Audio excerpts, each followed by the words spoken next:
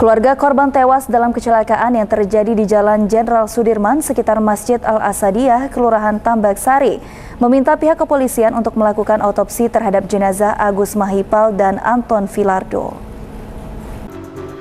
Pihak keluarga almarhum Agus Mahipal dan Anton Filardo, korban tewas dalam kecelakaan yang terjadi di Jalan Jenderal Sudirman sekitar Masjid Al-Asadiyah, Kelurahan Tambak Sari, Kecamatan Jambi Selatan, Kota Jambi pada Minggu 31 Juli 2022 pukul 4.00 waktu Indonesia Barat lalu mendatangi Subdit 3 Jatanras di Treskrim Polda Jambi pada Selasa 9 Agustus 2022 siang.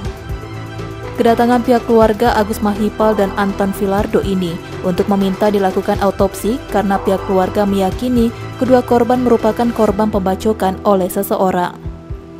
Kuasa hukum keluarga Agus Mahipal dan Anton Filardo, Fikri Riza mengatakan bahwa permintaan autopsi sudah dikirim ke Subdit 3 Jatandras di Treskrim Polda Jambi.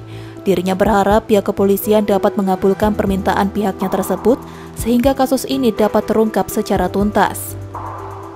Klien kami keluarga dari almarhum Agus Mahipal dan Anton Filardo. Kedua orang tuanya ikut juga ke Polda untuk meminta pada Polda Jambi untuk melakukan otopsi terhadap kedua jenazah almarhum yang sampai hari ini sudah hari ke eh, 9 belum juga ada titik, eh, titik temu gitu. Dasar pihak keluarga meminta autopsi terhadap jenazah Agus Mahipal dan Anton Filardo karena ditemukan luka yang dicurigai akibat dari luka senjata tajam seperti di bagian kepala.